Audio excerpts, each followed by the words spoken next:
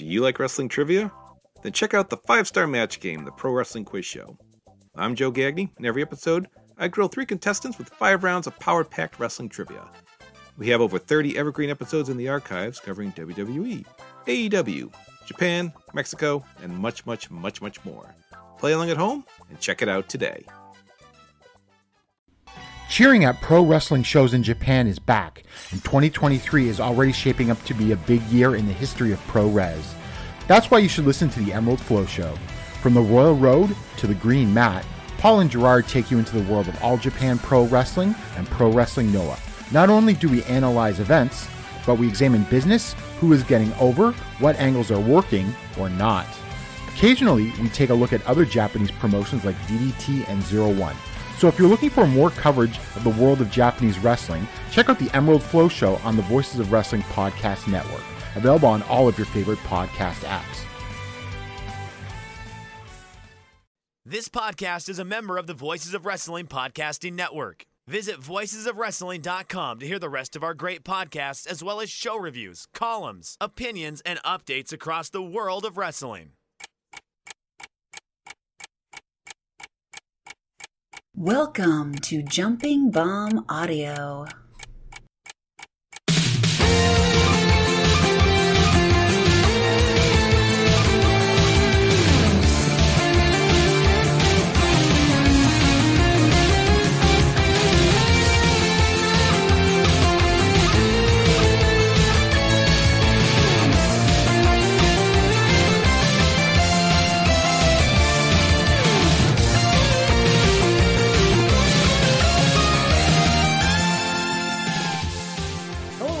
Everyone, and welcome back to Jumping Bomb Audio, the number one show all about the world of Joshi Pro Wrestling. My name is Taylor, and I am joined as always by my good friend and co host Kelly. Kelly, happy Mother's Day. Happy Mother's Day to all the mothers. If there's any mothers listening right now, or you have a mother, happy Mother's Day. Tell a mother happy Mother's Day, even if it's not Mother's Day anymore, which it won't be when you listen to this. But, uh, you know, maybe you forgot. Make a card, throw a five in there. And I think in this episode, we're going to be talking about some mothers. Probably. Uh, probably. I don't know. I don't really have, uh, my knowledge doesn't extend to that, but it's likely, right? Hang on, let me open up my mom's binder and let me take a look. Well, we got a lot to talk about this episode. We got some stardom to talk about. We got some Tokyo Joshi and so much more. We've got shows from Japan. We've got shows from America. Just recently happened. We got it all here on Jumping Bomb Audio. So let's dive right in. But before we do, got to get the plugs. If you're not following us on Twitter, do so at JBombAudio. Or if you just want to follow Kelly, you can follow him at Comic Kelly or me at Tay Mainbow. Subscribe to us on your podcast app of choice so you always get the latest episodes. And if that app of choice happens to be Apple Podcasts, we would love, love, love, love a five star rating and review. And if you're feeling extra generous, you can donate to the show at redcircle.com slash shows slash jumping dash bomb dash audio. So let's get into it. Our first show that we are going to be talking about is the big stardom show from May 4th, Fukuoka Goddess Legend Sweet Stardom from the Fukuoka International Center in front of 1,338 fans. Kelly, what do you think about the show overall? Overall, it was all right. Uh, I don't know. Definitely a B show, but not bad. Frankly, I thought this show was I thought this show was mostly garbage until uh, the top of the card. I can see that. including my notes i don't know if i was just like in a or maybe you know the last show was so good that i'm like living off the high of you know such a good show but like halfway through the show i was like i am not enjoying myself this is like not for me and then you know and some things at the top of the card i didn't like which we'll get into but um, i thought a strong recovery the matches that really needed to deliver, did deliver. So it ended up being, I think, a fine show. I think I agree with you, but really for me, a struggle uh, at the at the beginning. Yeah, no, uh, understandable. So, like many stardom shows of recent memory, this one started with a Rumble match, a Fukuoka Rumble, where Suzu Suzuki emerged victorious. She talked about after her victory that it was her first ever Rumble, and she's one for one. So, uh, a very good job there. Kelly, got any good thoughts about this Fukuoka Rumble? Um, no, Cool. no good thoughts. I I do. It really kind of. This is. I don't know why, but it, this one finally drove it home for me that it's like, oh, they don't do surprises and rumbles anymore. It's just slap a mask on someone and send them out there again. it's it largely is the same bit over and over Yeah. again. like this is that's just what they do now. It's not. There are no surprises. It is just some people are working twice that night. I just started listing random notes, not particularly even about the match itself. Uh, the first thing I do have to say is I really liked the picture in picture. that was nice. Um, I thought that was a good touch. I'm surprised more people don't do that. yeah. Um, you know, when people are entering, there's usually not actually anything going on in the ring. Uh, but I liked it in sort of an idea of it, like, Yeah. oh, we're not missing anything, and it's a cool technology, and it looked nice and it looked professional. Um, so I enjoyed that aspect. Now, Kelly, my next note I wrote before uh, you reached out to me at one point with a question. Um, sorry to expose the inner workings of the show. uh, you reached out to me with a question which is the opposite of what I'm about to say, which is that I have just decided I will not explain this because I have no explanation. That I'm just a Hanako fan. Okay. You reached out to me uh, like an hour after I wrote this note to say, "Who is this person?" I couldn't. I don't know if I saw her prior to this. I promise you, we have talked about her on the show, and you have seen her. I think I've just erased her from my brain because I. And the funny thing is, now after seeing her here and on New Blood, I like her. But for whatever reason, the first time, mul- maybe the first multiple times I saw her, literally no impression was left on me because I have no memories of this person. I just think I think she's got a good look. Like she doesn't look like a rookie to me. Um, she doesn't really come across that way. I mean, in ring, sort of, but I don't know. I just sort of have enjoyed seeing her wrestle. Now I'm yeah, no, I, th- I thought she was really good. I said I had no explanation, but there's the explanation. Yeah. Um, other random notes was Xena being announced as born in 1997 made me feel old for some reason, even though there are people in this company who are much younger. I can see that is. though. It was Yeah. like 1997. I was like, "Ooh boy." Yeah. Uh, my major note is, I guess I'll read this verbatim. Uh, what I wrote is anyone freaking watching these and thinking, "Oh, good, thank God for this rumble on the show." no. Okay. Is anyone just like, oh man, I really hope my fave's big, strong stardom machine and super strong stardom giant machine and super strong stardom machine show up. I hope It- they're at the merch table.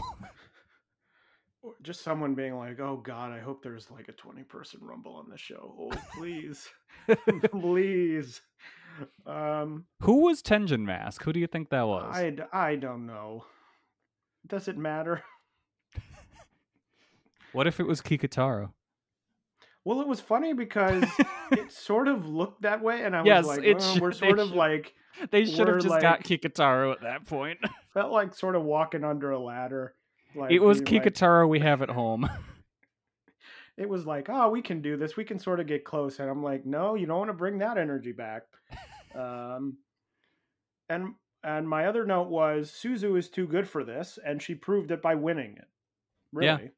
I thought, why is Suzu in this match? This is yeah, very that's weird. And then she kind of what. I thought too. I was it, when she came out, I was like, if she doesn't win this, oh, what what are we in for with this run? Um, the last thing is after the match happened, Um, my is Mai Sakurai is in the ring. She's going. She's promoing about oh you commoners, uh, you're gonna go home and eat what whatever she was talking about. And she's like, I'm gonna go have some fancy meal. And first of all, a general note is that I thought the crowd was terrible for this show. Um, except- not great. except for the main great. event felt like a co like i don't know if there were covid restrictions um but it felt like a covid That's crowd that's what I thought with the New Blood show too. see i thought the new blood show was better than this show i thought I mean, I- new I blood thought I they was were like well people bad. are reacting this Yeah. it was just sort of like clap clap clap but anyway Mai Sakurai's cutting this promo she's like oh you commoners you go live 10 in a room or whatever she's saying. And for some reason people started like lightly clapping except one guy in the back went boo. And it really made me laugh. Because i was I- like why are people clapping? And then the one guy booing i was like okay that guy gets it. Yeah. I, I it's starting to feel with these shows like this and I thought the New Blood that the crowds don't know how to react anymore. Which makes me wonder since stardom has grown so much since the pandemic started is this a bunch of new fans that only know the pandemic era of wrestling and just generally don't know how to react to wrestling shows unless they're prompted to clap, like with the Starlight Kid or the Mirai cha- uh, claps, you know? I mean it could be you may be yeah And they're that just could like, yeah, and if and especially like if they like it, let's say they just watched Stardom, like they just got into Stardom for whatever reason. There there was some sort of crossover at some point that that's what hooked them, and they only watch Stardom, and they just haven't gone in the back catalog. So all they've got is just like pandemic era stuff. So they're like, we just politely clap. That's what we do. But it's but the last show, you know, the big show, people were reacting very well. So Mhm. someone knows. yeah, And it seems like it, it almost seems like it would be the opposite, where if they're newer fans, I would think that they would be at the bigger shows and that the people at these quote unquote smaller big shows, I guess you could call them, would probably be longer fans, right? Like I, maybe that's wrong, but Probably, but you never know if like someone got hardcore into them over the pandemic and like but the also hardcore. they were they were good for the main event, so that Yeah, sort of that's proves true. the whole thing wrong. Yeah. Yeah, I don't know. I don't know what these I crowds don't know, are but doing. bad crowd, bad crowd. I thought, except for that one guy um, saying "boo." if that was you, if you're listening, you were you were one of the good ones. Good job. The next match was a tag match. The Stars duo of Hanan and Mayu Iwatani defeating the Club Venus team of Jesse and Mariah May in 8 minutes and 55 seconds. Now, I know from watching her, Mariah May is good in ring. hmm I cannot determine. I've now watched her, I don't know how many times, six times, something like that. I cannot determine if Jesse is any good. I think Jessie has potential. I don't think she's there yet. I think we see moments of her being good, but I don't think she is actively good yet. I think if she's bad, they're doing a good job of hiding it, and if she's Yes. good, they're doing a poor job of showing it. Yes. yeah, I think it's I think she's more bad than she is good at this point and they're doing a good job of hiding that she's bad. That was really my main takeaway from the match. There was a lot of weird stuff here with people um, double team like lifts, people doing like lifting people up in double teams where they're. It felt like a lot of times where they were like, like we got to get her up, and they weren't coordinated in lifting someone, uh, which sort of threw me off. But other than that, I thought it was fine. I have one prediction coming out of this match. I don't know when it will happen. I don't know if it'll happen. But my prediction is that someday Mariah May will kick Mina out of her own unit and will become the biggest heel in the company. All right, write that one down, everyone. Yep. That that's my prediction. Again, could be could be a year off, could be 2 years off, who knows. But I see it happening. And remember, everyone, Kelly's last prediction was Himika was going to pull a Mark Henry at her retirement and Yep. keep wrestling. Yep. I didn't watch a retirement show yet, so it might have happened. It's still possible. Still possible. Anything's possible. The only thing I've seen from that retirement show was Daichi getting hit in the nuts with a baseball, and you know what? Real good stuff. Did people send that to you, or did you find it? Um, It was sent to me. okay. well, we got some Daichi to talk about in the next match, which was another tag match. This time featuring the Cosmic Angels, Saori Anou, and Tam Nakano defeating Ruaka and Starlight Kid in 11 minutes and 4 seconds. Kelly, what did you think of this match?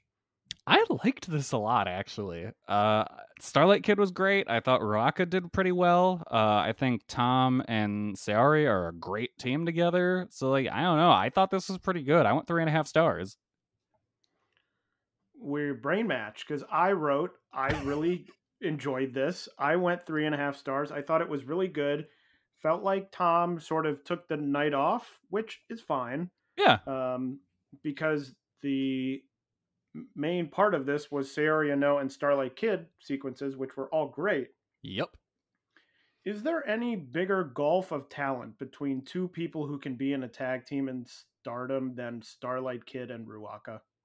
Uh, yes. Swap out Ruaka with uh Tora. Uh, it was just like, oh, Saori Anou, oh, Tam Nakano, oh, Starlight Kid, oh, Ruaka. Um, I'm telling you, I've really turned around on Ruaka since Tora came back, and I'm like, oh yeah, she's way worse.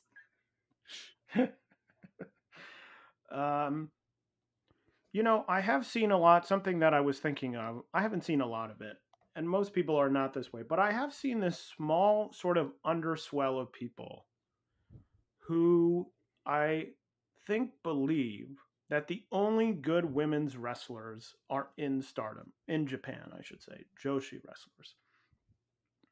So, like, wait, hold on. The only good Joshi wrestlers are in Stardom, or the only good res- women's wrestlers overall are in Stardom? The only good Joshi, like Ah, I Joshi. see, okay. I mean, the American scene is not very good, but Well, yeah, yeah, yeah. Like people who are like, oh, these freelancers come in, they're uh, you know, none of them are as good as all these people in Oh, okay, yeah, yeah, yeah. Okay, I see. It's it's very small. I'm not saying this is most. I'm not saying it's you know a majority of people, but I have seen this. You know, sometimes after the big shows, people will go, oh, this match would have been better if you know so and so wasn't there, who's a freelancer or whatever. And I think Yuck, take not- out Maya Yukihi, put in Miyu Amasaki. It'll be so much better.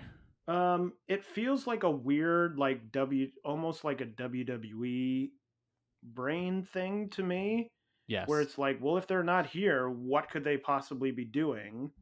And then they're here, and they're like, oh, they're they're amazing, they're incredible, and that's why they're in Stardom.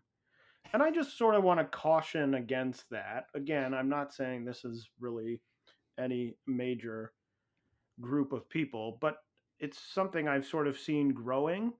And Saori Anou is another sort of tick in the opposite column where it's like, no, there are many, you know, as you said, Maya Yukihi, who came in and had that great match with Giulia.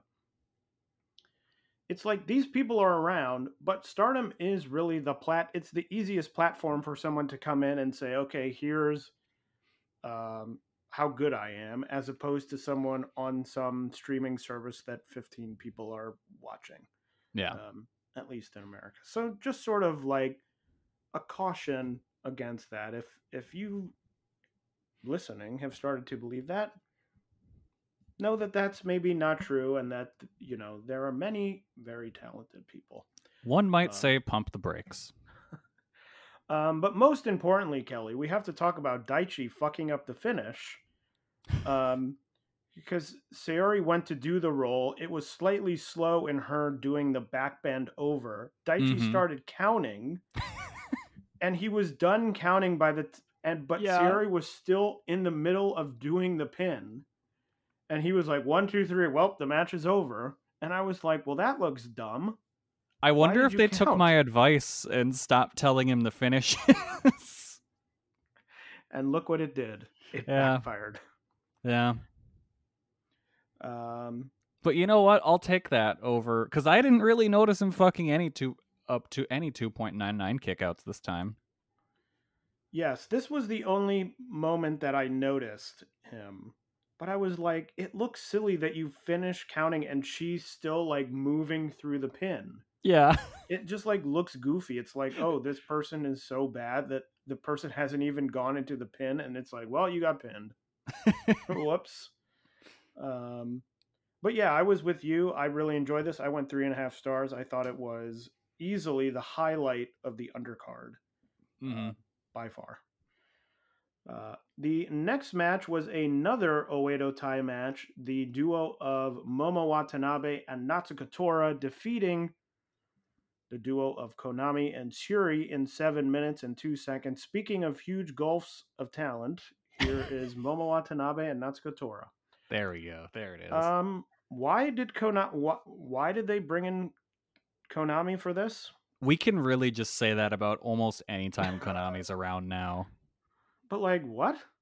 For a seven minute mid card match with I- Oedo- like Don't understand. I don't understand why how they use her anymore. I just it fucking doesn't make any sense.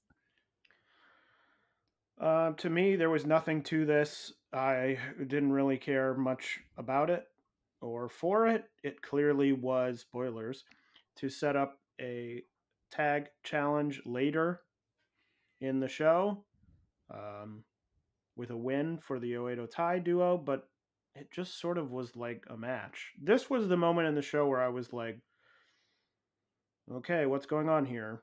Um, you know, our third of four consecutive tag matches. Yeah. And I was just sort of like, Ugh, okay. Yeah, I I don't know why they brought in Konami for this match. It their their usage of her this year is so bizarre in every way. and I would love to know why. Like what are the extenuating circumstances that cause this? Why doesn't she work for them more often? Why did they just put her in these weird spots? Like I I don't get it, but you know what? Whatever. Uh, this was a big nothing match it's it'll be forgotten by the end of this show. The next match was another tag team match. This one, Donna Del Mondo, Giulia, and Maika defeating Saya Kamitani and Utami in 16 minutes and 22 seconds when Maika pinned Utami. Uh, this to me felt very much like sort of a standard issue tag match. Um, I wrote in my notes, good win for Maika, or is it? um, I don't know. Utami to me just feels sort of like aimless at this point. yeah, Utami is very much if she's not in a title hunt, we don't know what to do with her. Like, what has she done since losing the title? She's had a challenge. She's had a. She's challenged for titles, but it just feels like she just sort of is in these random tag matches to. Like, Oh, like, she had "Oh, the she had the feud with uh Tora, don't forget that. That did a lot do- for No, her. I do want to forget that. Don't tell me what to do. I, I will forget that. Um, I don't know. It's like clearly that's the point of this was like, oh, now Maika is moving up. I think now Himika's leaving, so it's sort of like now we're gonna do something with Maika at least for the moment.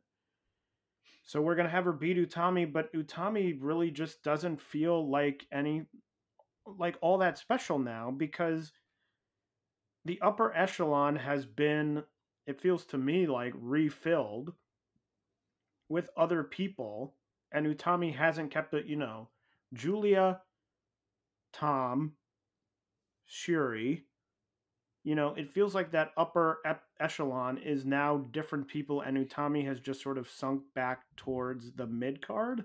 Mm-hmm. I don't know. It's just a weird it was just something I was thinking about as I'm like, oh, Maika pinned Utami. This is supposed to be a big deal. Does it actually feel like a big deal to me? And the answer is not really. No. No, it's it's weird. Their booking of her is strange. It really just seems like at this point she is around to be a title challenge. That's like a big deal. I for the most part, it, it, they think it should be a big deal. Whether it is or not is up to be uh, determined. Uh, I don't know. Remember, like, I don't know, what was that? Year, like a couple, like half a year ago or so, when people were saying, "Oh, she's headed to AEW," and then just nothing happened from that. Yeah, I don't. Yeah, I don't know. Oh, that's right, because she was tweeting with Abaddon. that's oh, that's right. right. That's our okay. I remember what spawned all that now. Speak speaking about something else, I forgot. Uh, yeah, that's one way to keep her real hot. Uh, Natsuko and Abaddon. Yeah, I had to I had to work my way through that. I was like, why were people saying that? Oh yeah, that bizarre thing. So yeah, I don't know. She just feels kind of aimless, and who who knows? Maybe they're just running out her contract. Maybe she does want to go to AEW. Yeah, I I mean I don't know. We'll have to we'll have to see, but it was a big big thought here as she got pinned. Yeah. Yeah, overall I thought it was a decent enough match. Nothing like super special, but an enjoyable watch. The next match was our first title match for the high speed title. The champion Azumi making another successful defense, defeating Mei Seira in 10 minutes and 46 seconds. Kelly, what did you think of this first title match? Uh, what I'm about to say is probably shocking, but I thought this was good. I know everyone, no one was expecting either of us to like a uh, an Azumi high speed title match, but here we are. Really good match. Uh, just wild nonstop action the whole time. I thought it was great. I went four stars. I was slightly lower than you. I thought it was good. I thought it was not as good as I was expecting it to be. And there were a couple moments when it felt a little disjointed. There was a part at the beginning where they were sort of doing the classic high speed sequence. And like Mei stopped in the middle of the ring, clearly expecting something to happen. And it didn't. And then oh, they were yeah, like, that's oh, right. They were like, oh, okay, now you do this. And they got back into it it wasn't a huge issue, but it was like, hmm, like yeah, I thought Azumi saved that pretty quickly. Uh, Mei taking multiple bumps from the apron to the floor, I thought was pretty wild. Um, the one where she jumped off to do the dropkick and just landed uh, very hard was great. I'm just very confused by the result.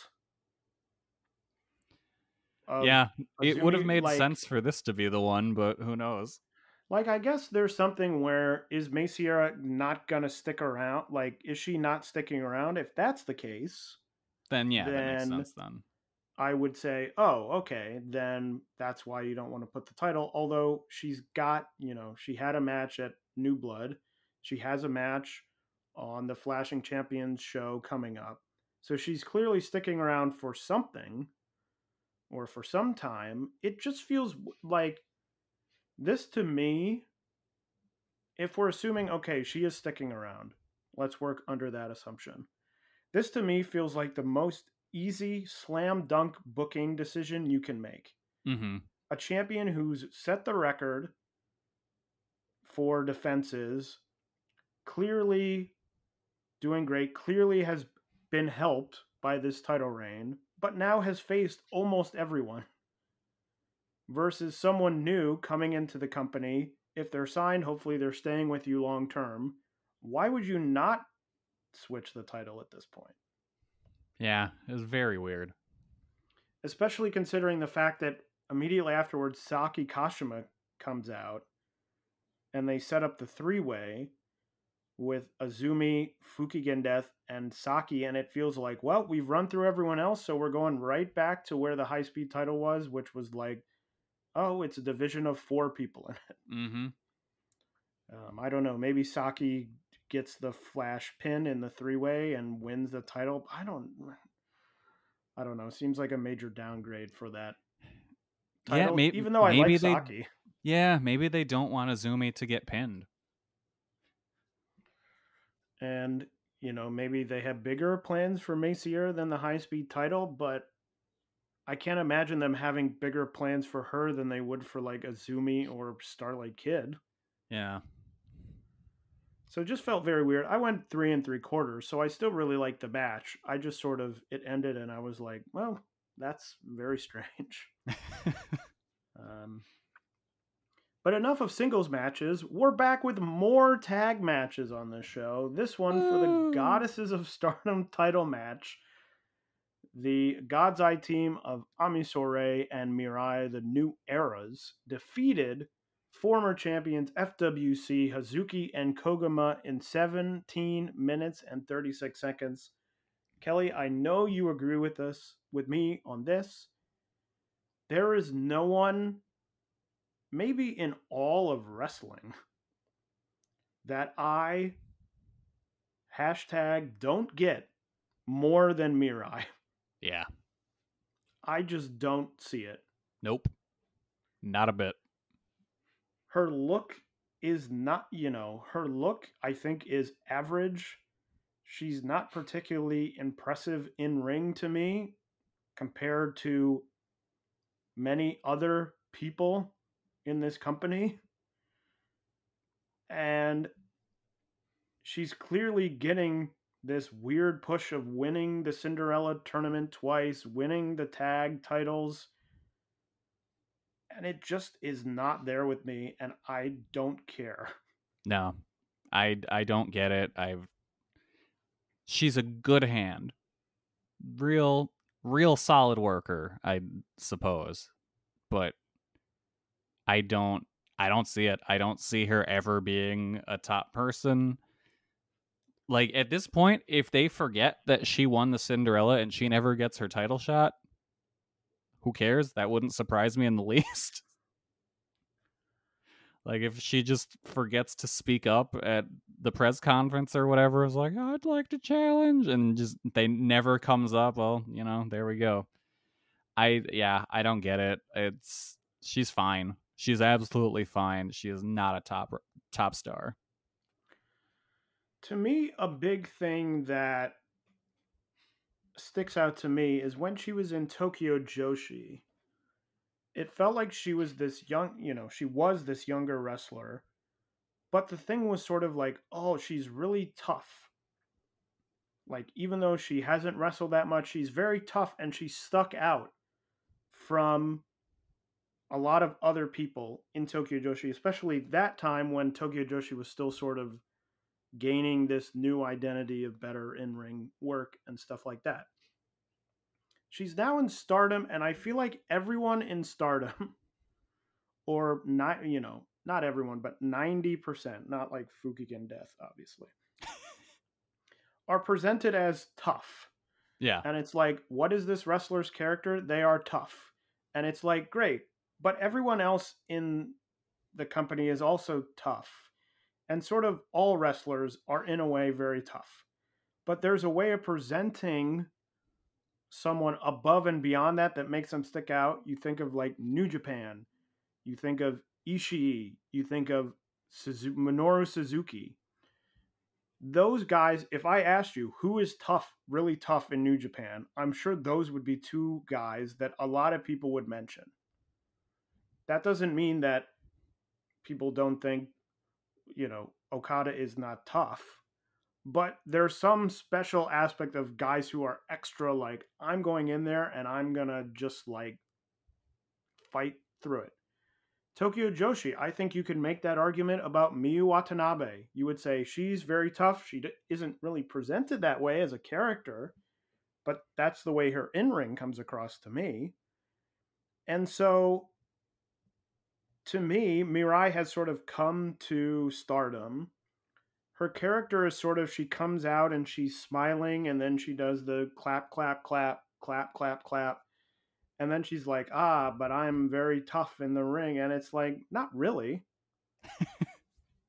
You're as equally as tough as every single other wrestler on this roster you know except for like saki kashima fukigen death some of the rookies But what if I asked you, okay, well, name me a wrestler who's tough and wants to speak to a manager? Yeah, that I mean, the haircut is exactly that. and it's funny because I do think now look in the look department in the sort of uh, gear department, she has been passed by Ami Sourei, Yeah. Who now I think looks better, but I now think Ami Sourei looks like um, if there was like a Stardom video game, and you had a a creator wrestler. and you had a creator wrestler, and it was like you have these five Stardom outfits to choose from. she is now wearing one of five Stardom out. Like they feel all cut the same. Like they all have the same shape to them. They have the bands around the legs. You know the tassels, which I know at least one or two other wrestlers have had on their gear at one point. Um, Karma has them on the gear. Um, it just looks to me like I'm like, okay, she does look better. That is true. But now she looks like most of the other mid card wrestlers in this company. Yeah. I'm still not feeling the extensions. I I mean, she should have stuck with her old hair.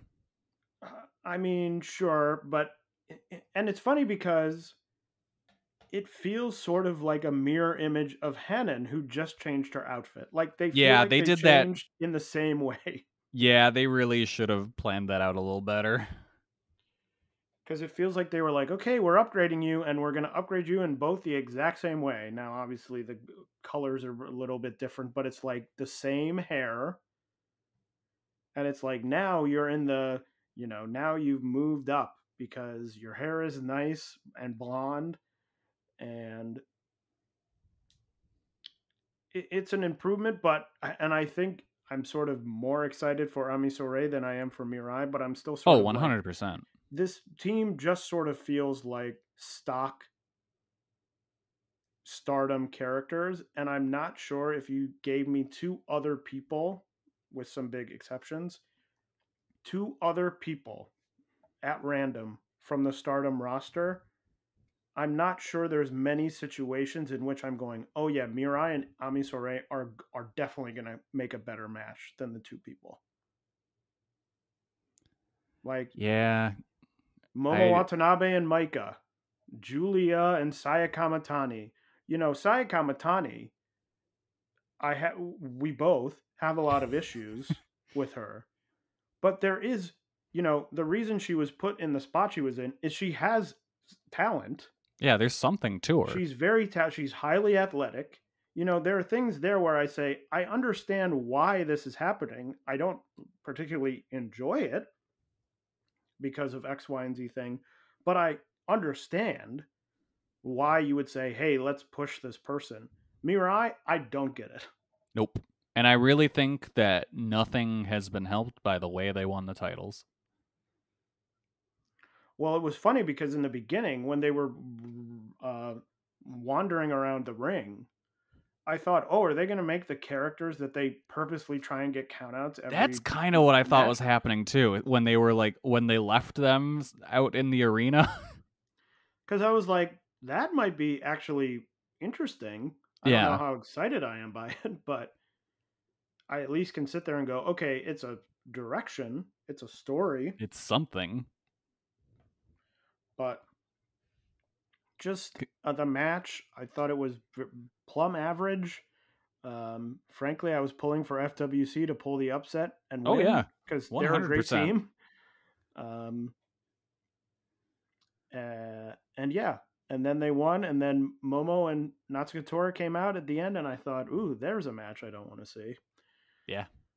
Uh, so yeah, you know, Rossy giveth and Rossy taketh away. He gave us the end of Saya's long reign, and he then made New Era's the tag champions. Insert picture of Rossy eating a carrot. But the main event was for the Wonder of Stardom title match. The new champion Mina Shirakawa making her first defense, defeating Natsupoi in 20 minutes and 27 seconds. Thought this match ruled. Thought it was great. Um, I don't know if it was the way the ring was mic'd or it was extra leg slapping or what was going on, but there were some slaps and punches in here that I was like, whoa. Um, there was one where I couldn't even see what was happening because the camera was in the wrong position, but it was like a slap and it was loud. And I was Mhm. like, woo. Um, I just thought it w- had a good sense of desperation to it. It felt like two sort of people really fighting to win.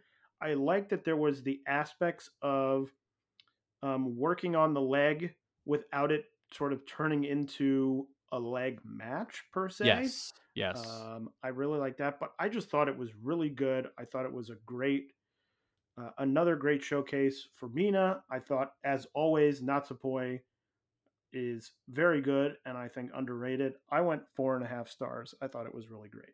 Holy shit. I was I liked this match. I I didn't go that high. I went three and three quarters. I thought it was very good. Uh, a lot of hard hitting stuff. Really strong first defense for Mina.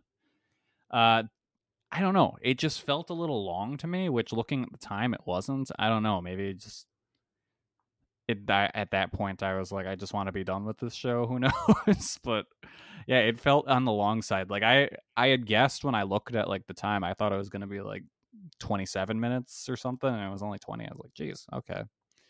So yeah, I don't know. That's probably more of a me problem than the match itself, but overall, I liked it. I thought it was a very good match.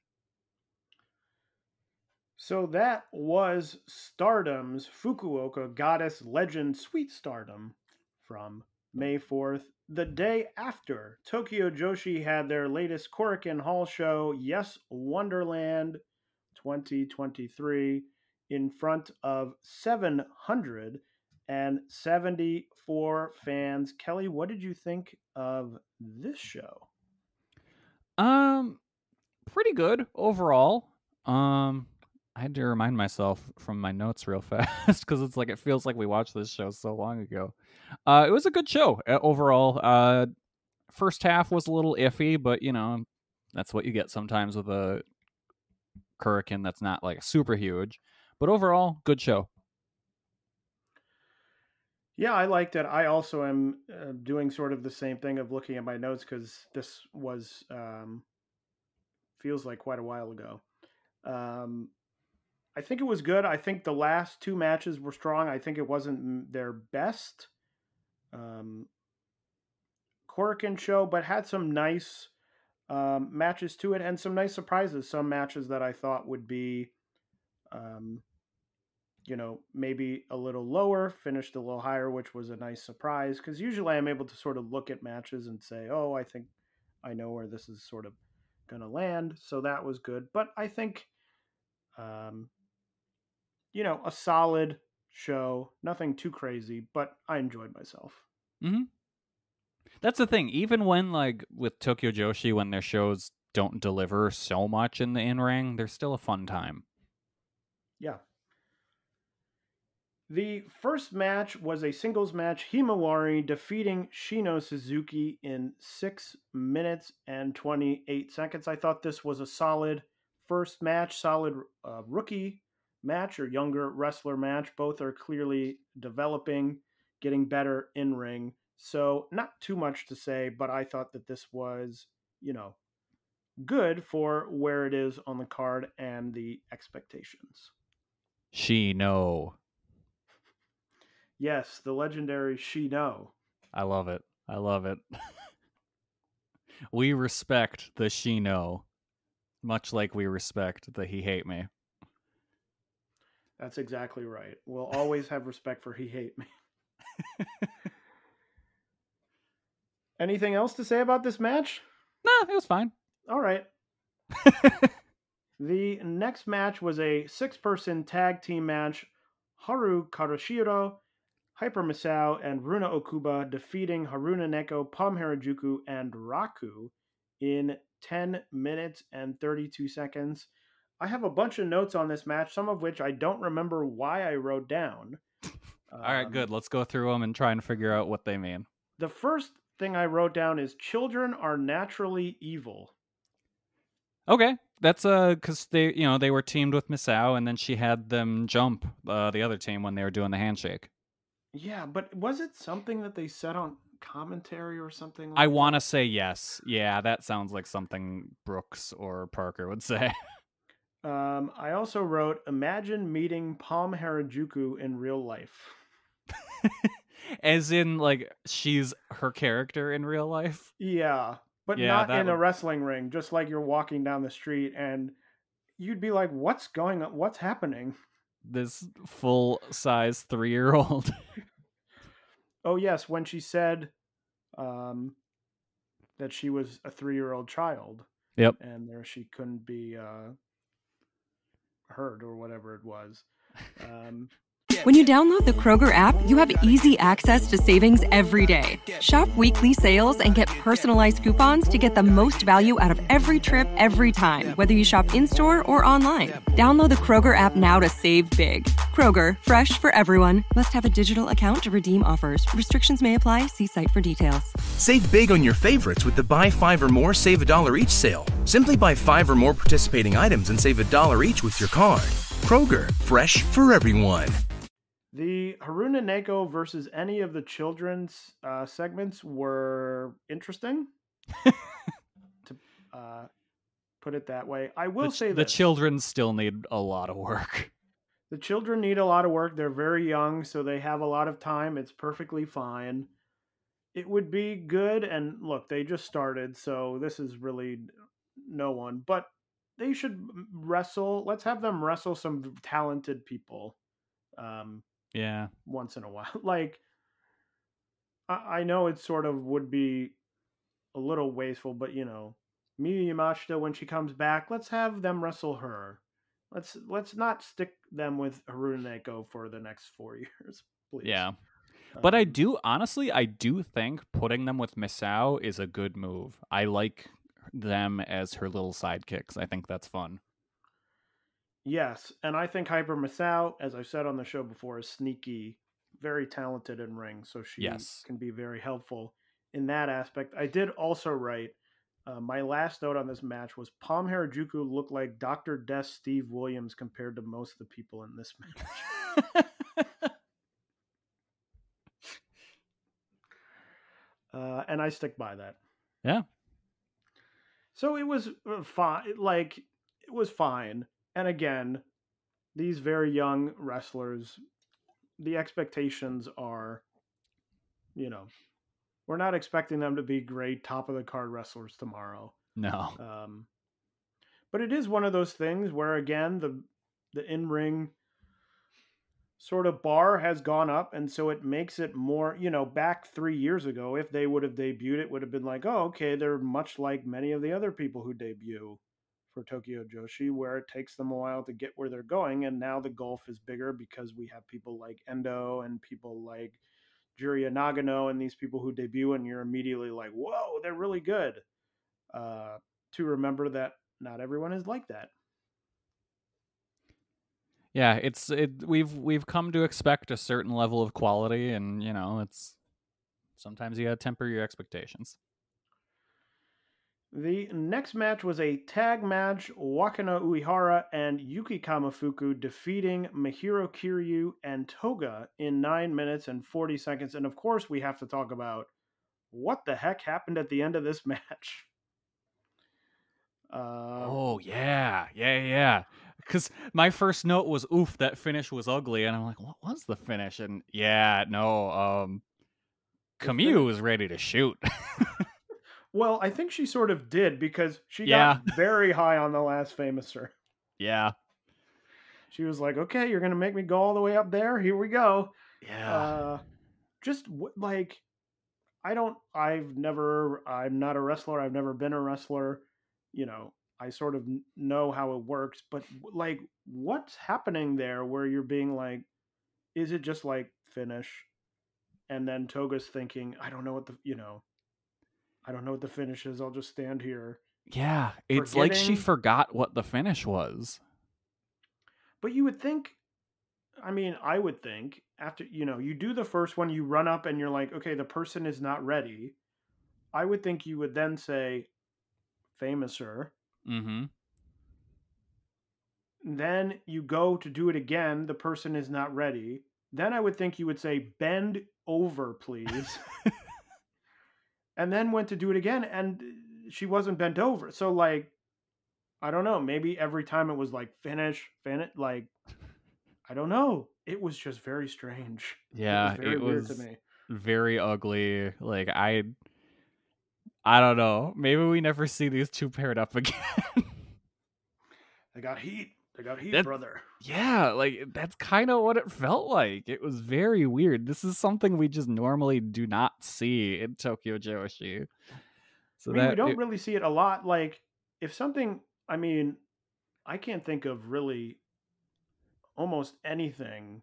yeah, that's you know, true. you see something, it gets messed up, they do it again, and you're like, okay, they did it again. Even though I'm usually a person who's like, if something doesn't work, just move on. Now, obviously, this is the finish. the finish, so you can't really do Uh, that. But in terms of like, it gets messed up. Okay, it happens. You go, you do it again. Boop, it's over. You know, whoops, we we screwed up for 15 seconds, whatever. But to like do it once, do it again, and have it not work, and then the third time it didn't work. It only worked because uh, Yuki le- leapt high, like yeah, four feet in the air, and was like, "I'm doing this whether we like it or not." It just was very strange. it was very weird. Um, other than that, it was sort of just a match. I thought the highlights were the Kamiyu Mahiro interactions. Um, Yeah, that was fun. her doing the apology and Kamiyu coming in and kicking her, and then Mahiro catching the constant attempts at the eye pokes. I thought were a lot of fun, you know, playing off they know each other well. Um, other than that, thought it was fine.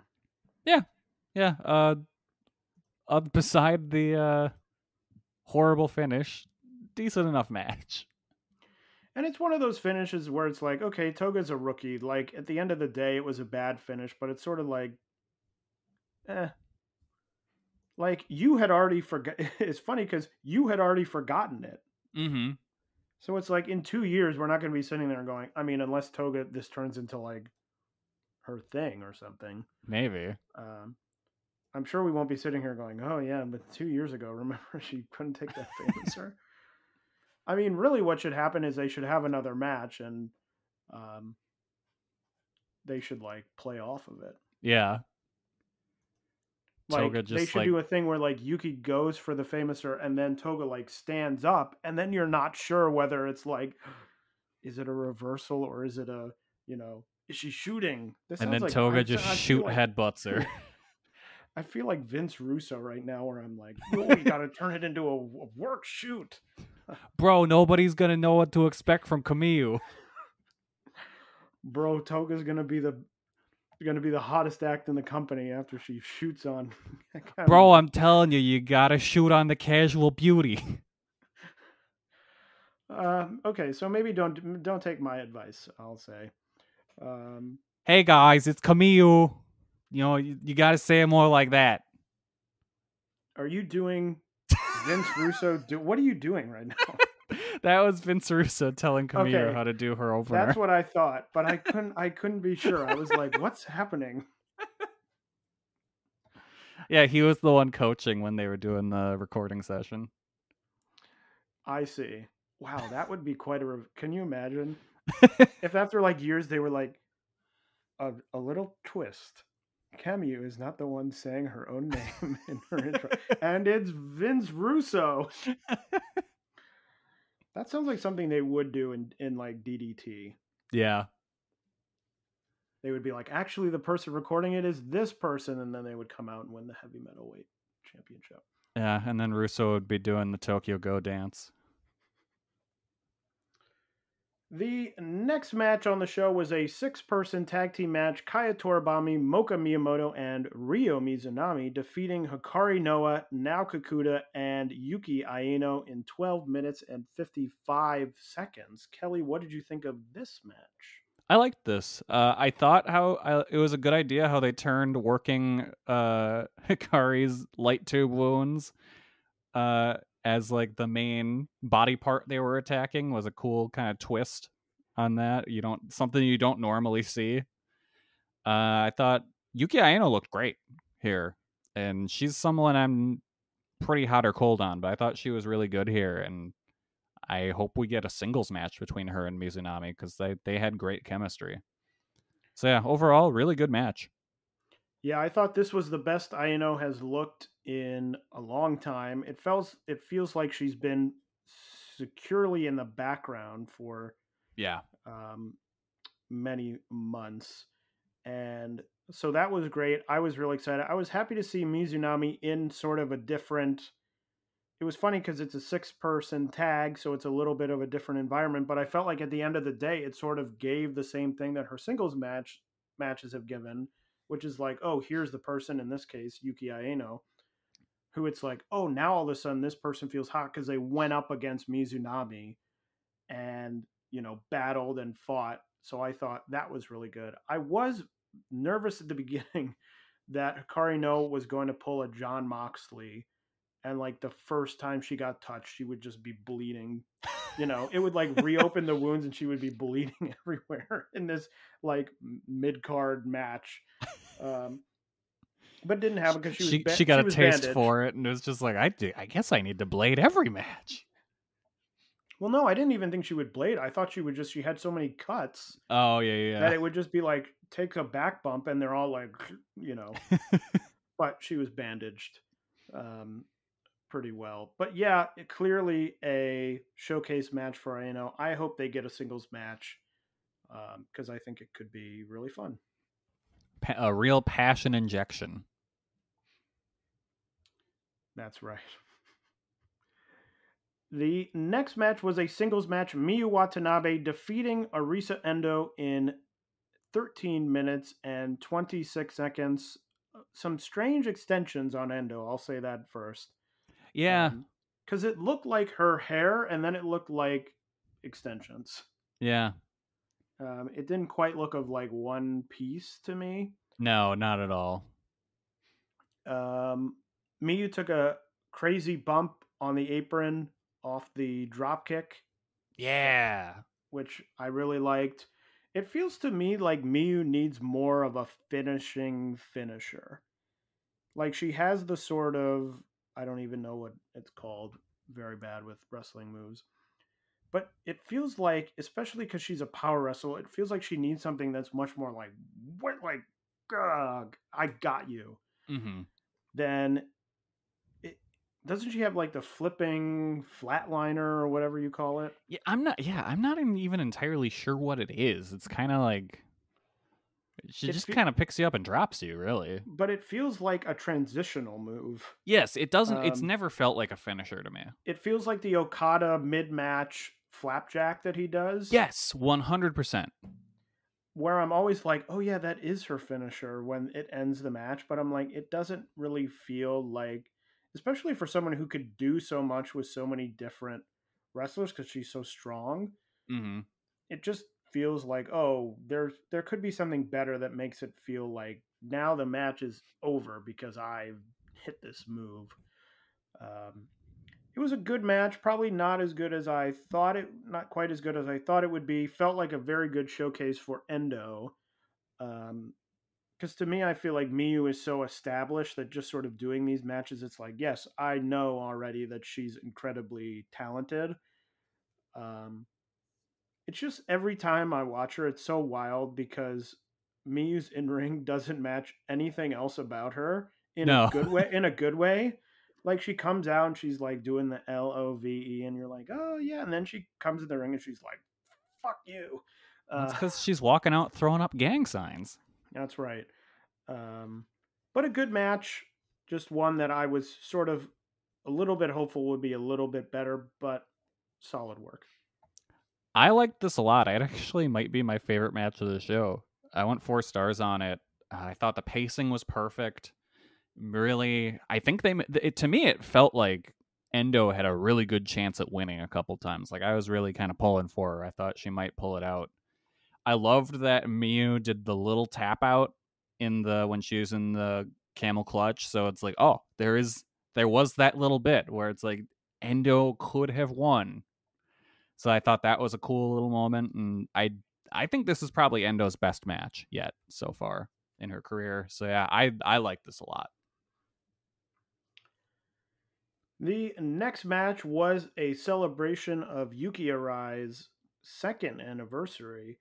A tag match, Yuki Arai teaming with Maki Ito to take on the team of Shoko Nakajima and Yuka Sakazaki, the Miracleans, coming out victorious in 15 minutes and 29 seconds. I really enjoyed the team of Arai and Ito teaming together. Mm-hmm. Uh, liked seeing heel Yuka, uh, which, as we'll talk about in a few minutes, uh, that time is growing short. But my big question is where do you think Yuki Arai goes from here? Now celebrating her second anniversary, still feels like she's not quite there um, in ring, but they clearly see her as a big deal. So, what do you think happens? Yeah, I don't know because she definitely still needs the reps, but you really can't move her down the card without it feeling like a demotion. It's it's weird. She's in a rough spot where it's almost like she got too much too fast, and is not. She just I don't. She's not there yet. So I think.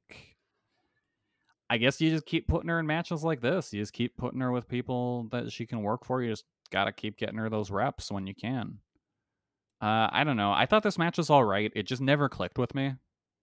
And when it did, I didn't think it was up to the level of quality that it should be. But like, I I also can't point at it and be like, oh, this is exactly what was wrong. It just, I don't know, something about it didn't mesh well for me. Yeah, I can see that. I like I said, I thought it was a fine match, but considering everyone who was in it, I sort of was like, oh, at the end of the day, it was, you know, fine. Mm-hmm. The semi main event of the show was our first title match, the International Princess title. The champion Rika Tatsumi retaining in 13 minutes and 28 seconds over Suzume. Uh, Rika Tatsumi bleeding a little at the end of this match, uh, which I found quite surprising. But I like the story of this match. Suzume bringing it to the challenger. I think that's a story that Tokyo Joshi is very good with in their matches in terms of sort of a younger, less experienced wrestler sort of rising to the challenge, not quite winning, obviously, but that's a, been a great way for them to sort of lift a lot of these mid card, undercard wrestlers. We've talked about the Ryo Mizunami matches, which are sort of the staple of that. But I really enjoyed this. I went three and three quarter stars. I thought it was a very enjoyable match. I will give this one another four stars. I liked this one a lot. Big match. Suzume came through. Uh, they both played their roles fantastically. Rika was great as just the vicious champion, and Suzume is just the perfect underdog. And just the match felt nonstop to me. Like it was just go, go, go. So I, I loved this. I thought it was great. I hope I, I would like to see another rematch. Maybe, you know, Suzume comes back and beats Rika for it at some point. Who knows? That would be cool. But I yeah, these two have great chemistry and I was very, very happy with this match. And the main event was for the Princess of Princess title, Mizuki defeating the visiting Sawyer Wreck in 11 minutes and 24 seconds. Kelly, this was the match you said when we were previewing the show. You thought, oh, this probably won't be um, quite up to the usual main event standard. But I actually thought that this match was a lot of fun. Yeah, yeah, no, Um, Sawyer Wreck proved proved me wrong. Uh, she, she did really well here. She played her role perfectly. Just all she had to do was be tall and strong, and you know what? She did it. I think that this shows one way in which these sort of smaller Japanese companies are a little bit stronger than American indies in that American indies, when you're sort of announcing matches, it's just like these two people are in the match and they go and they have a match as if they're very like even. They're totally even. Here, they did exactly what they should have. One of these people is very big and one of these people is very small. Yep. And they played to that in how they wrestled the match and what they did. You know, Sawyer is a hardcore person, a hardcore wrestler. So she leaned on that. Like they leaned into each person's strengths, which made the whole thing stronger and then made the other person look stronger. You know, they had Sawyer doing bigger wrestler moves. They had Mizuki sort of trying these big strike moments with the foot stomps and other things. So I thought it was really well worked to both people's strengths. I went another three and three quarters. Um, Yeah, that's where I was too. So just thought it was uh, surprising, very good, but really, um, you know, some matches you watch and you're like, I, uh, I don't know, I liked it. It was good, you know, I enjoyed it. This one very obvious. They worked to both of these people's strengths. They hid the weaknesses um, in them. So just an easy, enjoyable match for me. Yeah, it was one of those where it's they didn't try and force Sawyer to be someone else. They didn't be like, "Hey, go be a super worker." Thanks.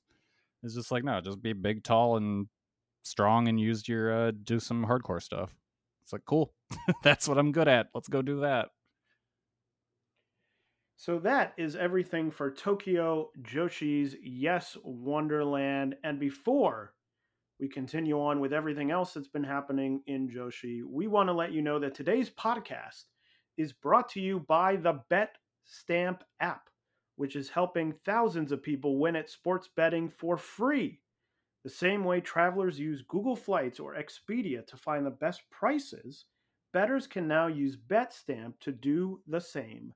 When you place a bet, the odds given by a sportsbook will determine how much you can possibly win. Even when betting on the same outcome, different sportsbooks will offer varying payouts, and these differences can be huge. Thankfully, BetStamp allows you to easily line shop for the most profitable odds across all sportsbooks. You can click on any matchup and instantly see all the different odds for game lines, player props, and even futures bets. Line shopping is the simplest way to find an edge in sports betting and maximize your chances of winning long term. On average, BetStamp users win an extra $1,000 or more yearly just by line shopping. You can find the BetStamp app on the Apple iOS Store, Google Play Store, or through your browser at www.betstamp.app. To access all these benefits, sign up using promo code VOW and start your journey to successful sports betting today.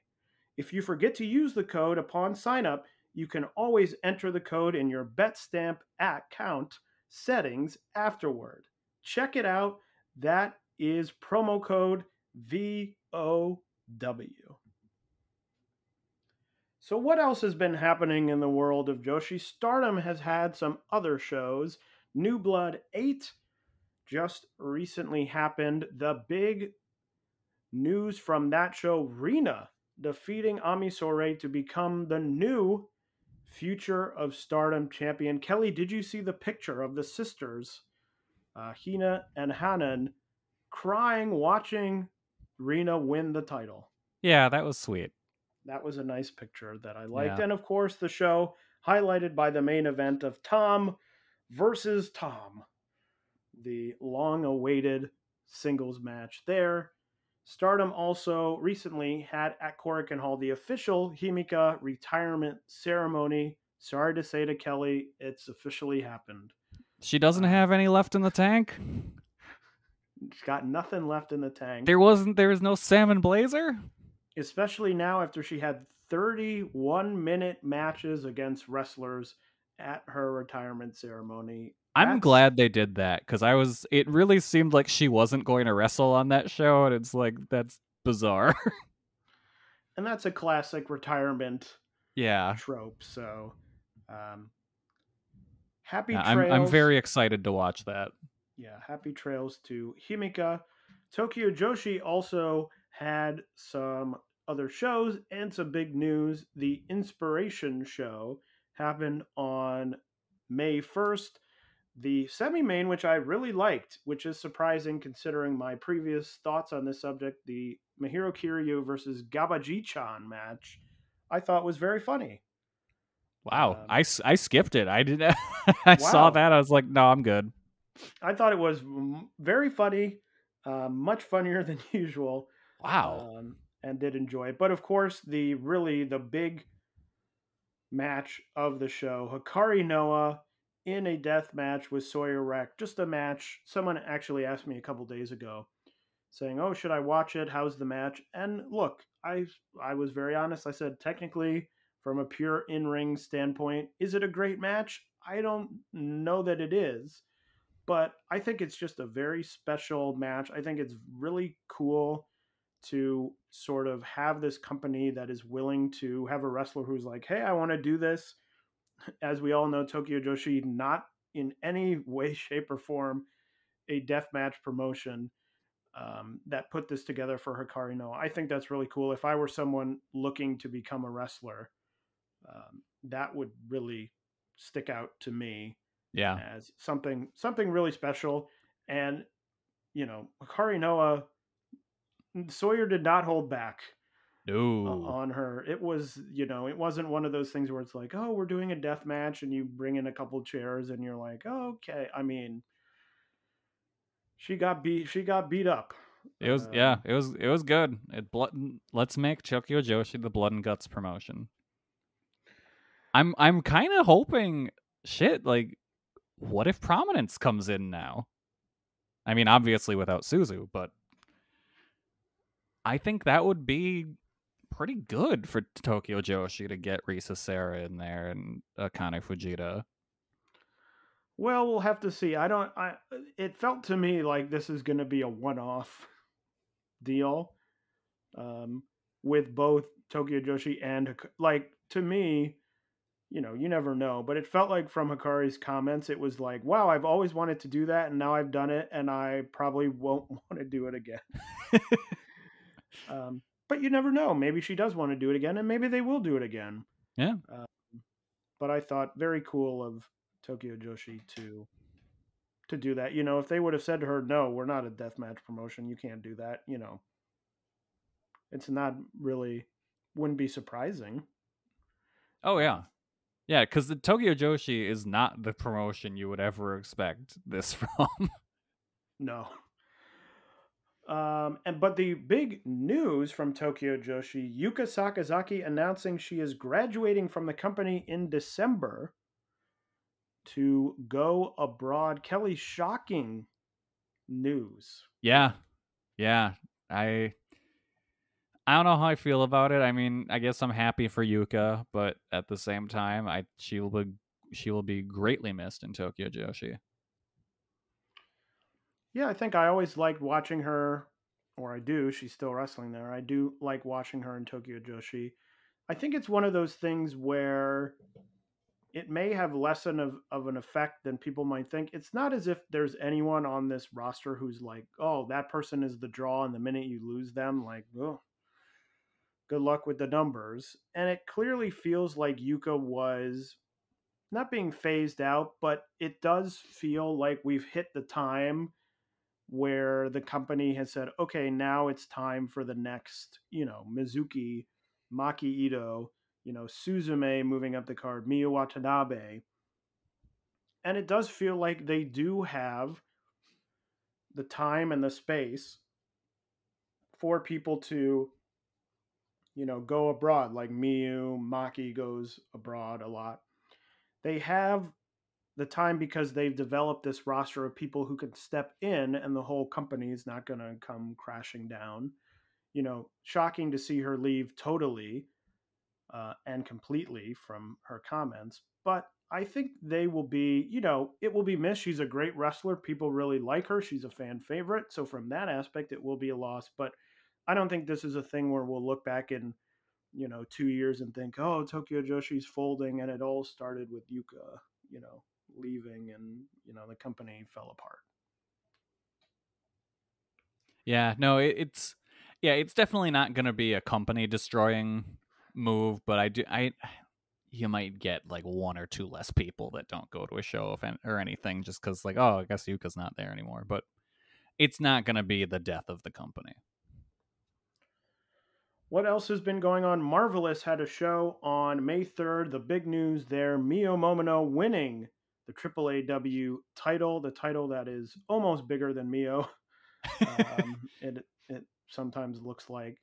That was big. She had it last night at the Queen of the Indies show in California. That a fun show that I watched, uh, featuring a lot of marvelous talent as well as some United States talent, a number of people who were chosen through tryouts to go to Marvelous. So that will be coming up in the future months. Chigusa Nagayo wrestling in a six person tag match, and Masha Slamovich winning the whole thing, becoming Queen of Indies, of course. Masha, a long time marvelous wrestler due to the getting stuck in Japan for the pandemic. So happy to see her reunited with some of the people that she was with for so long and winning that very fun tournament. That is on IWTV. Uh, so you can check that out there. Wave had their opening night of the Catch the Wave tournament. I naively thought they had uploaded some of the matches to YouTube, but it turns Same out thing they, happened to me. they uploaded the 2022 version of the tournament onto their YouTube, uh, which felt very like a prank. yeah. oh, you rascals. I was like, wow, they uploaded that really fast. And then I was like, wait a minute, this isn't right. Um, they also had three shows on the 14th, uh, which just happened. Uh, I think a morning show, an afternoon show, and a night show with Jeez. with catch the wave matches. So not even going to. Uh, I don't even know what the results of those matches are, but really no point in going into the standings because with three shows, they're already out of date. Kelly, what's been going on in Choco Pro? Uh, Choco Pro 309 from uh, May 1st. Is that right? I think that's the right date. I don't know. Now that I'm looking at it, I'm like, is that right? We'll find out. Uh, Emi Sakura had her goodbye battle royal. She went back to the States for a while. Uh, the battle royal was a lot of fun. And you had uh, Violences Forever's Kevin Ku in the battle royal. So there was a bunch of like fresh interactions there. So it was, it was a good time. Give that a watch if you get a chance. All right, so that is everything that has been going on. But what is coming up in Joshi? Another big stardom show on May 27th Flashing Champions, their annual show, kicks off. Saya Iida and Momo Kogo will take on Lady C and Miyu Amasaki. Suri and Ayasakura will take on the Rebel and Enemy team of Ram Kaichou and Maika Ozaki. That should be a fun match. Utami, Saya Kamitani, and Hina will take on Starlight Kid, Ruaka, and Rina. Mayu Iwatani, Hazuki Koguma, and Hanan will take on the Club Venus team, Mariah May, Jesse, Zena, and Waka Tsukiyama. Maika, Suzu Suzuki, and Mei Seira will take on Nanae Takahashi, Yuna Mizumori, and Hanako. Maika, Suzu Suzuki, and Mei Seira, a fun, a fun trio there. Yeah. Um, maybe hinting Suzu, Suzu and May teamed at New Blood, so maybe some movement towards a new unit, possibly. Possibly. Hopefully, 'cause Maybe- I think that's a maybe- good unit. Maika breaks off and, from DDM and does her own thing. Gets a bunch of little high speed wrestlers around her. The high speed title, speaking of high speed, the high speed title will be up for grabs. The champion Azumi will defend in a three way against Saki Kashima and Fukigen Death. Saki Kashima uh, turning in her certificate for a title shot, even though she technically already did that. Yeah, she already did that. Uh, but she claimed at the show that actually Stardom said she had done it without her permission. oh, Um, you know she what? Still had Fair. the certificate. fair. Uh, the Goddesses of Stardom tag title match will be there. Mirai and Ami Sourei, Ami Sourei will defend against Momo Watanabe and Natsuko Tora. You know, I got to talk about uh, the New Blood show real fast because during oh, go for the. The um the title match between Rina and Ami, Ami Sourei, there they did some in-ring storytelling, which Stardom does not do very much. They had Oedo Tai interfere in the title match and cost Ami the title. They moved a story along without it happening on a press conference. We must, we have to reward that. They did a good job. I'm, I'm happy they did that. Yes, but it also involves Oedo Tai interference, which we want to stay away from. But but it it made sense. There was a reason for it. It wasn't just uh, throw in throw in a suitcase, do a thing. Haha, we're smoking, reading newspapers. Like they, they there was a reason for it. It furthered another story. Like that, there was solid booking in that match. You know, I I'm I'm happy for them. Maybe maybe this, this is the start of something. Maybe they'll be like, hey, we can use these whole wrestling matches to get across our stories. Who'd have thunk? I think Kelly, I think you're going to monkey pot into. They're going to turn into NXT, and then we're going to regret it. Oh, so now they're just gonna do community theater. Yeah. Oh. Uh, but anyway, back to Flashing Champions. The, Why are my ideas so violent? The semi-main will be an Artists of Stardom title match. Kairi Natsupoi and Saori Anou will defend against Giulia, Mai Sakurai, and Tekla. And the main event, Tam Nakano will go up against Mina Shirakawa in a double title match that I would put thousands of dollars on. Will go to a time limit draw. Yeah. Yep. That's uh that one's gonna be a tough watch because it's just gonna be like, oh well, I instantly know what's happening here. and What it is zero resolution is what is happening. What else is going on? Seadlinnng has a show on May 25th. They have two uh, tag title preview matches Asuka versus rico Kaiju and Makoto versus Ayame Sasamura. Tokyo Joshi has the Hyper Misao produced first hype show coming up on May 25th. There will be a second Hyper Misao audition match between Miyu Watanabe, Raku, Yuki Kamifuku, Suzume, Moka Miyamoto, and Himawari for the rights to become the second Hyper Misao. there will also be Shoko Nakajima will go one on one with the recently returned from the United States Yoshihiko. And the main event will be Rika Tatsumi and Arisa Endo going up against Yuki Aino and Mahiro Kiryu. A match that has no story except for the their two teams that Hyper Misao has always wanted to see face each other. Oh, you know what? Sure. Yeah. And then 527, May 27th, Shoko Nakajima and Yuki Kamifuku will take on Aja Kong and Mahiro Kiryu. What a team. Uh, what a team. Wave has some more shows coming up on the 21st and the 28th. I'm sure there will be some Catch the Wave matches on that. We also have two produce shows coming up. The first one, SAREEE-ism, the return of SAREEE from the banished land of WWE. Uh, a four match card Riko Kaiju against Yurika Oka.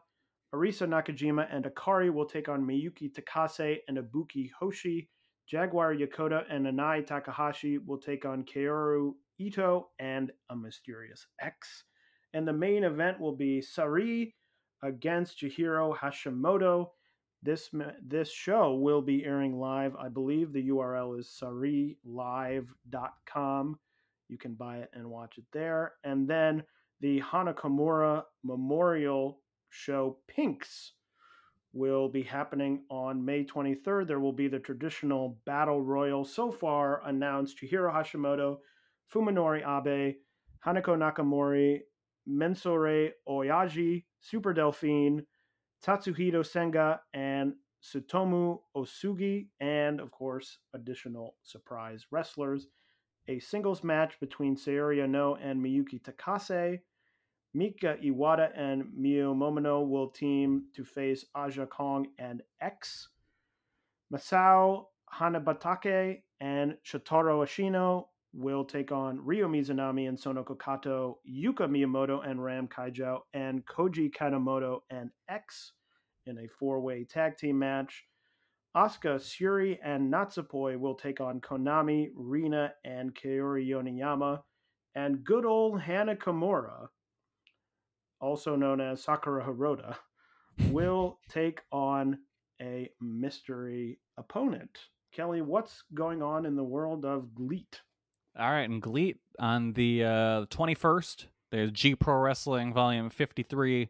Uh, Unagi Sayaka and Yukari Hosokawa takes on the Sendai Girls team of Mika Iwata and Yurika Oka. Uh, Sayaka has really kind of taken on the role as the GLEAT women's ace that she took from uh, Miyagi. And she recently had a singles match against Yukari Hosokawa, and they after the match they had a talk, and it seems like they're gonna they're pushing forward together. So we're we're gonna see how high they can take the world of GLEAT Joshi. And there you have it. That is everything coming up in the next two weeks of Joshi. So I will hand it over to Kelly for his traditional end of show time. All right, what have I what have I done lately? I went to see the Guardians of the Galaxy three. It was very good, very good movie. Uh, there is a lot of animal violence, so if that's an upsetting thing to you, then maybe don't see it. But also, that is the point. It is supposed to be upsetting in the movie, uh, to the point where James Gunn was given an award by PETA for the movie and how it is such an accurate depiction of animal testing.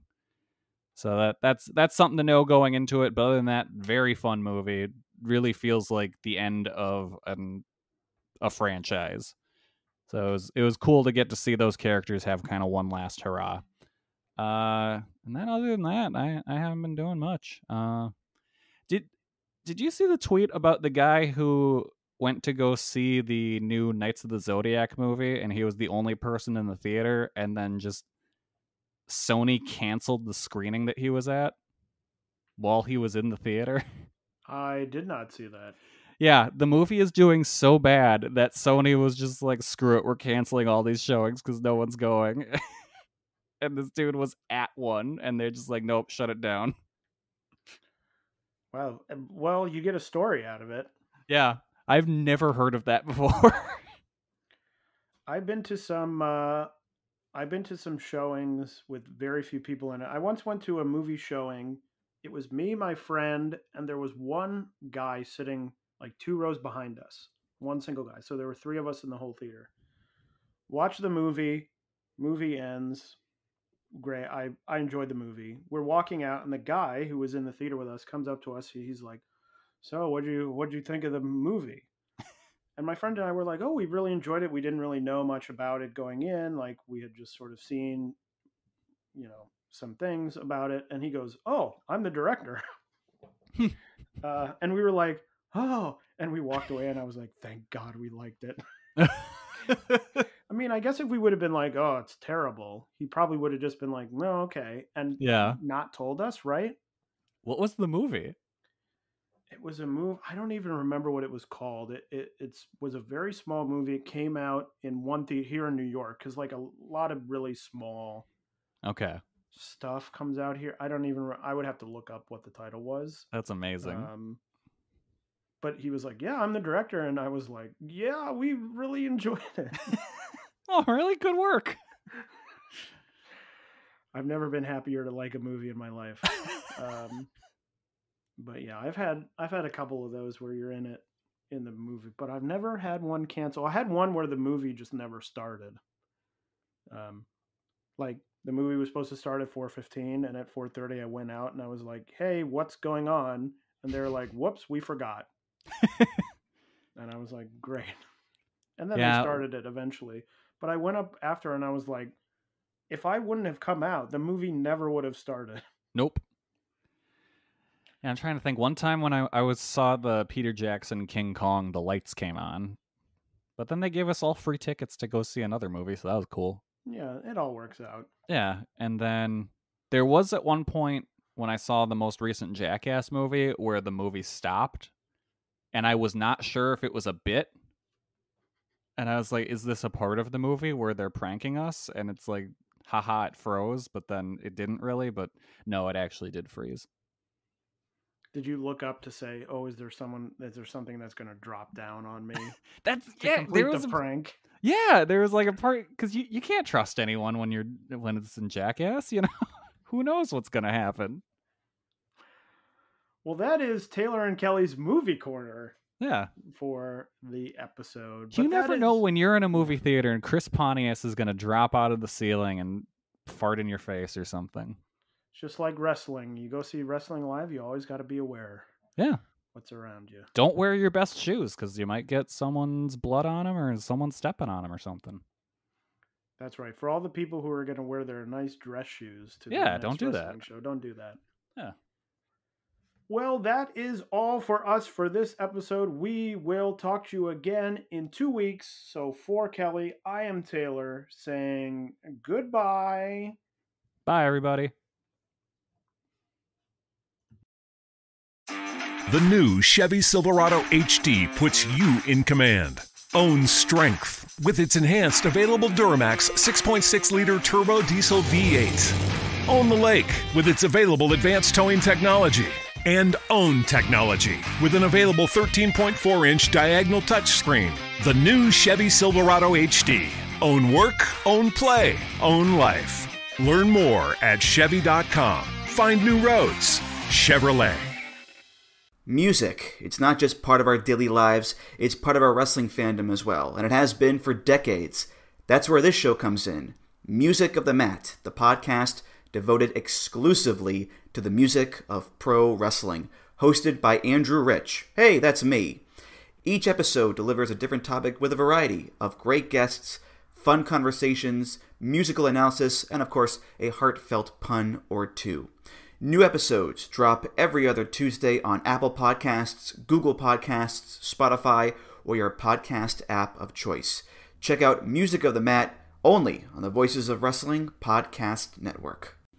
Cheering at pro wrestling shows in Japan is back, and 2023 is already shaping up to be a big year in the history of pro res. That's why you should listen to the Emerald Flow Show. From the Royal Road to the Green Mat, Paul and Gerard take you into the world of All Japan Pro Wrestling and Pro Wrestling Noah. Not only do we analyze events, but we examine business, who is getting over, what angles are working or not. Occasionally, we take a look at other Japanese promotions like DDT and Zero One. So if you're looking for more coverage of the world of Japanese wrestling, check out the Emerald Flow Show on the Voices of Wrestling Podcast Network, available on all of your favorite podcast apps.